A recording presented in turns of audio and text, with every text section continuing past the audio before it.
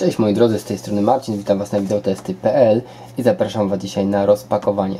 Tym razem mam nie lada gratkę dla wszystkich graczy, szczególnie dla wielbicieli firmy Razer i klawiatur mechanicznych. Przede mną klawiatura Black Widow Ultimate wersja 2014 wyposażona w, uwaga, mechaniczne przełączniki produkcji firmy Razer. Są to przełączniki Green, dostępne są także przełączniki Orange, które prawdopodobnie przetestujemy w późniejszym czasie. Ci z Was, którzy śledzą nie tylko nasze filmiki na kanale YouTube, ale wchodzą także na portal, na pewno widzieli newsa, e, w którym wspominałem właśnie o nowych przełącznikach stworzonych specjalnie dla graczy.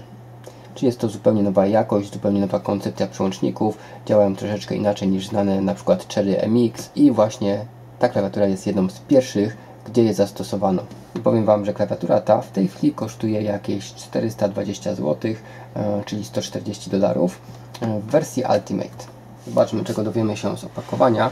Przede wszystkim informacja właśnie o tych nowych przełącznikach mechanicznych firmy Razer. Bardzo wysoka żywotność tych właśnie przełączników i indywidualnie podświetlane klawisze. Widzimy też samą klawiaturę Black Widow, jest podświetlana na zielono. Kolejna informacja o przełącznikach mechanicznych. No i zobaczcie, mamy takie okienko, gdzie możemy sami przekonać się, jak one działają.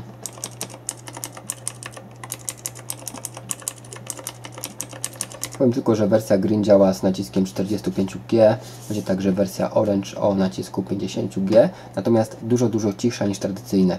E, tutaj mamy taki klik, który przypomina Wam oczywiście przełączniki Cherry MX Blue. Natomiast powiem Wam, że odczucie jest troszeczkę inne. Dobrze, zobaczmy jeszcze, czy jakieś ciekawe informacje znajdują się na kartonie. Od spodu mamy częstotliwość próbkowania 1000 Hz, czyli standard, nagrywanie makr w locie, podświetlenie, klawisze makr, anti-ghosting, wejście na mikrofon, wyjście na słuchawki oraz hub USB. Czyli klawiatura ma wszystko, co powinna mieć wersja Ultimate. Kolejne informacje, pełne wsparcie dla Windowsa 8 oraz konfiguracja poprzez Razer Synapse 2.0. Natomiast moi drodzy z tyłu to o czym mówiłem, czyli opis tych nowych przełączników. Mamy taki obrazek pokazujący jak one działają, e, jak ten cały mechanizm się zachowuje podczas wciskania i mamy także porównanie do innych przełączników mechanicznych dostępnych na rynku. Przede wszystkim dystans aktywacji jest mniejszy w tym przypadku, klawisz też szybciej odskakuje oraz żywotność to 60 milionów klików. Tutaj mamy podany przykład 20 milionów, e, nie wiem których przełączników to dotyczy, natomiast wiemy, że Cherry MX Blue mają żywotność 50 milionów klików. E, ale tak czy tak, żywotność przełączników Razera jest wyższa. Siła aktywacji 50G. No i tutaj wkradł się mały błąd, ponieważ powiedziałem Wam, że 45, e, a jednak jest odwrotnie. 45G będzie w wersji Orange, natomiast tutaj mamy 50. A teraz rozpakujmy sobie tą klawiaturę. W zestawie jeszcze mamy zasobniczek. A w jego wnętrzu jakieś informacje gwarancyjne, e, Quick Start Guide. No i takie gratulacje, że wybraliśmy klawiaturę Razera, czyli rzeczy, które już widzieliśmy kiedyś przy innych recenzjach. Natomiast sama instrukcja. Zawartość opakowania, podłączenia, opis poszczególnych funkcji, klawiszy specjalnych itd. Tak no i to było na tyle. I po zdjęciu osłonki widzimy już samą klawiaturę.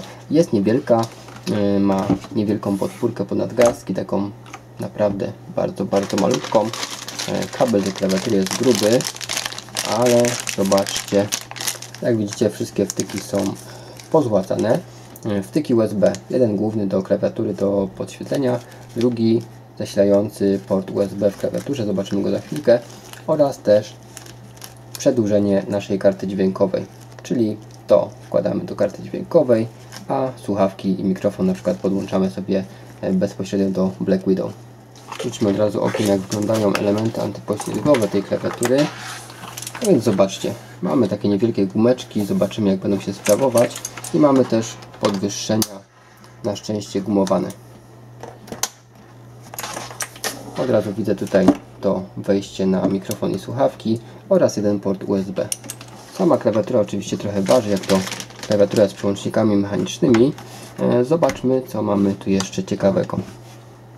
Po boku 5 klawiszy gamingowych, e, klawisze multimedialne tutaj na klawiszach funkcyjnych, czyli wyciszenie ciszej głośniej, do przodu play pauza, do tyłu klawisze multimedialne, e, nagrywanie makr i inne funkcje oraz regulacja podświetlenia. Jak widzicie przestrzenie między klawiszami są zielone, podświetlenie też będzie zielone. Mamy klawisz funkcyjny, z którym korzystamy z tych dodatkowych opcji. Mamy mały Enter, ale za to długi Backspace. No, czcionka jest specyficzna jak u Razera. Tutaj widzicie też logo Razera na takim błyszczącym plastiku. No I posłuchajcie jeszcze przez chwilę, jak te klawisze pracują.